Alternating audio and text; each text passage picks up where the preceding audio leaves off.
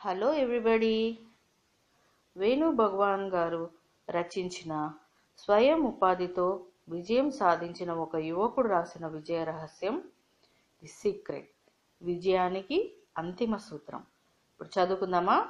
మీరందరూ కూడా వింటూ బుక్ తెరిచి చూస్తూ నా రికార్డింగ్ వింటున్నారని నేను నమ్ముతున్నాను.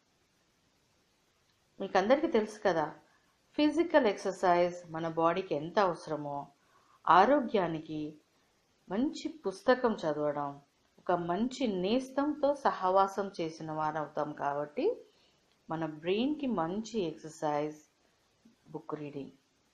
So Jawaji Jayashree audio video ఛానల్కి స్వాగతం. ఓకే ఇప్పటి వరకు అతి తక్కువ కాలంలో టూ థౌజండ్ మెంబర్స్ వ్యూవర్స్ అయ్యారు. వింటున్న మీ అందరికీ షేర్ చేస్తున్నందుకు సబ్స్క్రైబ్ చేస్తున్నందుకు లైక్ చేస్తున్నందుకు కామెంట్ చేస్తున్నందుకు చాలా చాలా చాలా థ్యాంక్స్. ఇప్పుడు మనము వేణు భగవాన్ గారి స్వయం ఉపాధితో విజయం సాధించిన ఒక యువకుడు రాసిన విజయ రహస్యం ది సీక్రెట్. విజయానికి అంతిమ సూత్రం చదువుకుందాం. లక్ష్యం అంటే ఒక పనిని నిర్ణీత కాలంలో పూర్తి చేయాలనే సంకల్పమే లక్ష్యం. లక్ష్యం అంటే ఖచ్చితంగా ఒక కోటి రూపాయలు సంపాదించడం లేదా ప్రధానమంత్రి అయిపోవడమే కానక్కర్లేదు. అది చిన్న ఇల్లు కట్టుకోవడం దగ్గర నుంచి మీ చిన్నారి పాపతో పార్కుకు వెళ్ళడం ఒక కొత్త అలవాటు కోరుకున్న వ్యక్తితో వివాహం కూడా లక్ష్యం కావచ్చు. అయితే జీవితాన్ని విలువైన జీవితంగా మార్చుకోవాలంటే ఒక ఉన్నతమైన ఆశయం కావాలి.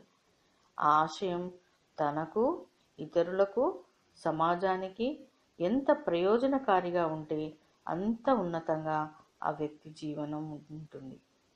మీరు సాధించదలుచుకునే ఏ పనైనా అది మీ లక్ష్యమని చెప్పవచ్చు. ఒక జీవిత కాలంలో సాధించదలిచింది ఆశయం అనవచ్చు. ఆశయం అనే జీవిత గమ్యాన్ని చేరుకునే మార్గమే ఆదర్శం. ఏ ఒక్కరూ లక్ష్యాలు లేకుండా లేరు.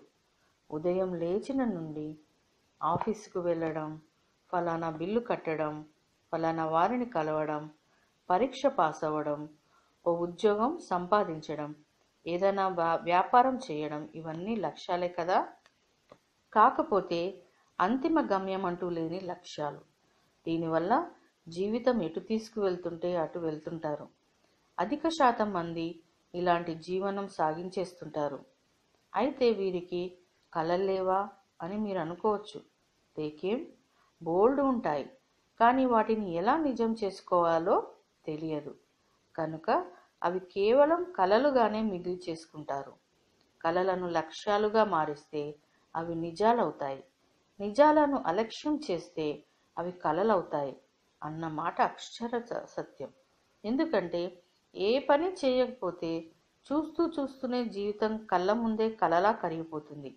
అసలే ఇరవై ఒకటో శతాబ్దపు ఆధునిక జీవన శైలి అంతర్జాలం సోషల్ నెట్వర్క్ లైఫ్ స్టైల్కు ప్రాధాన్యత పెరగడం వలన మనిషి ఒక రేస్లో పడిపోయాడు. ఈ రోజులో అమెరికాలో ఆర్థిక సంక్షోభానికి కారణం అక్కడ మధ్యతరగతి వారు లేకపోవడమే. అంటే అక్కడ ఉన్నవారు పేదవారు ఇద్దరే ఉన్నారు.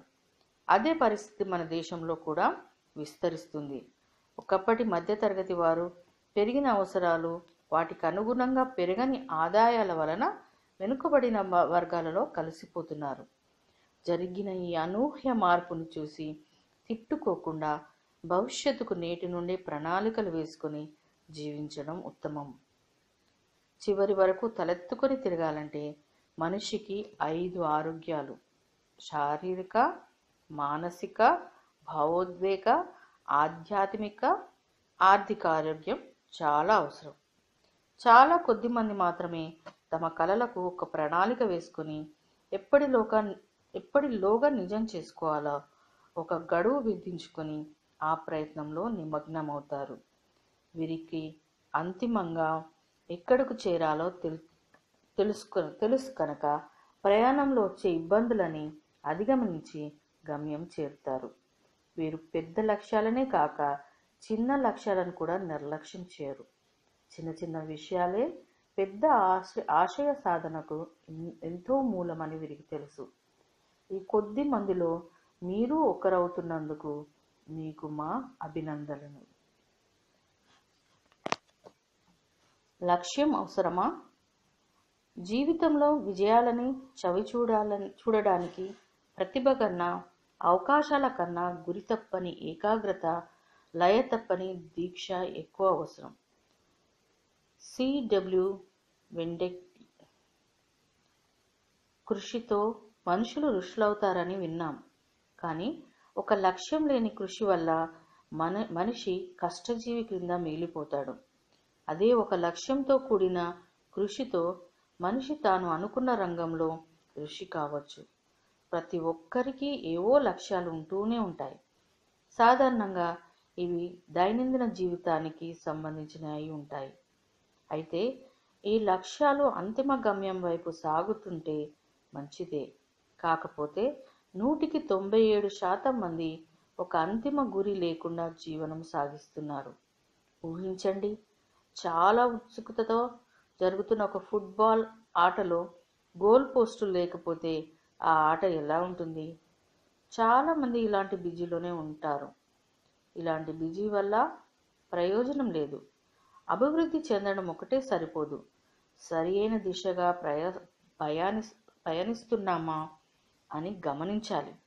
ఈ పరిస్థితికి కారణం ప్రతి వారు సాధారణంగా బ్రతుకు తెరువు కోసం వారసత్వం వల్ల వచ్చినతో ఏదో ఒక ఉద్యోగం వ్యాపారం మొదలు పెడతారు. అది తనకు సంతృప్తినిచ్చే వృత్తి అయితే మంచిదే. ఆనందం ఉన్నా లేకపోయినా కనీసం తన కుటుంబ అవసరాలు తీర్చేదైతే కొంతమంది ఎలాగో దిగాం కదా అని దానితో కుస్తీ పడతారు. కొంతమంది ఇక వేరే దారి లేదని రాజీ పడతారు. కొంతమంది చేసే పని ఆసక్తి లేనిదైతే ఆ పనిలో శ్రద్ధ లోపించి నైతిక విలువల్ని ఒక్కొక్కటి వదిలేస్తారు. కొన్నాళ్ళకు వీరి మనసు శరీరం జీవకళ తప్పుతుంది. ఇక ఇలాంటి వారు ఇంటిలో బాంధవ్యాలు ఎలా ఉంటాయి? పిల్లలకు మంచి విలువలను ఎలా నేర్పగలరు? చాలా కొద్దిమంది తమ జీవితాన్ని ఎప్పటికప్పుడు రీడిజైన్ చేసుకుంటారు. స్వీయ క్రమశిక్షణతో ఆర్థిక స్వాతంత్రం ఏర్పరచుకుని తనకున్న నైపుణ్యాలు సామర్థ్యాలకు అనుగుణ అనుగుణంగా కొత్త లక్ష్యాలను ఏర్పరచుకుంటారు. జీవితాన్ని నచ్చినట్లు మరచు మరల్చుకుంటారు. అయితే జీవితంలో ఒక డ్రీమ్ ఉన్నవారే ఒక విజన్ సృష్టించుకొని కొత్త లక్ష్యాల వైపు ధైర్య సాహసాలతో అడుగులు వేస్తారు. లక్ష్యం తప్పనిసరి. అబ్రహం లింకన్ గారు ఏమన్నారంటే నిదానంగా ఎదురు చూసేవారికి కూడా కొన్ని విజయాలు లభించవచ్చు. అయితే అవి సకాలంలో సత్వరంగా ప్రయత్నాలు చేసిన వారికి దక్కిన తర్వాత మిగిలినవే అయి ఉంటాయి. రోజువారి పనుల్లో తను తలమునుకలై బిజీగా ఉండే వారికి జీవితం గురించి ప్లాన్ చేసుకుందామా అనుకుంటే సమయమే కుదరదు. చాలామంది బ్రతుకు అనే నావలో ప్రయాణం సాగి సాగించేస్తుంటారు. నీటి వడికి ఎటో అటు సాగుతూనే ఉంటుంది.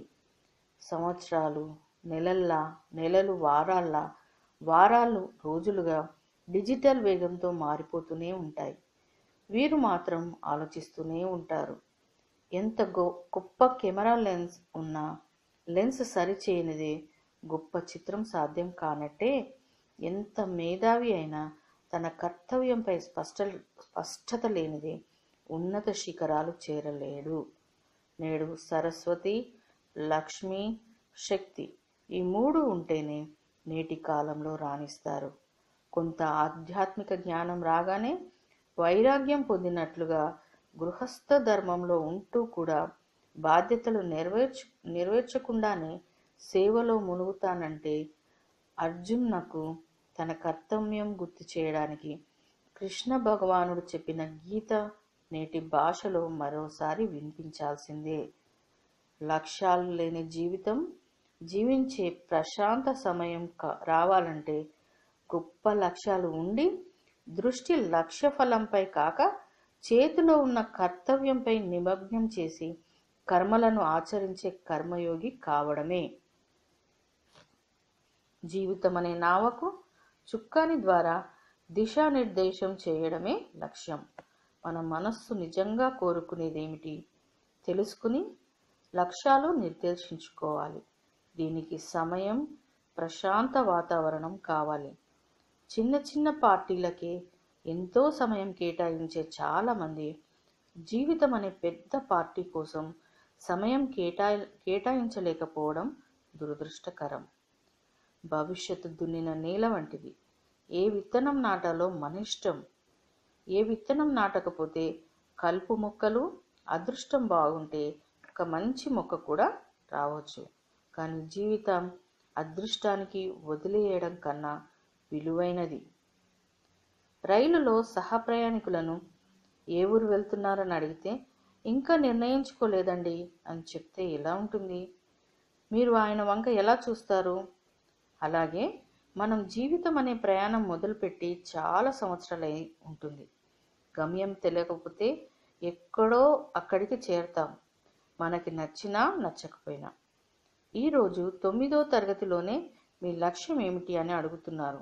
అయితే పరిణితి పెరిగే కొద్దీ లక్ష్యాలు మారుతుంటాయి. ఒకరి లక్ష్యాలు మరొకరికి చిన్నవిగా మెటీరియలిస్టిక్గా అనిపించవచ్చు. కానీ ఎవరి అవసరాలను బట్టి పరిణతి సామర్థ్యాన్ని బట్టి వారు తమ లక్ష్యాలను పెట్టుకునే హక్కు స్వాతంత్రం కలిగి ఉంటారు. కాకపోతే ఎంత త్వరగా అర్థవంతమైన లక్ష్యాలు నిర్దేశకు నిర్దేశించుకొని పనిచేస్తే అంత ఎక్కువగా జీవితాన్ని ఆస్వాదిస్తారు. ఉంటాను మరి.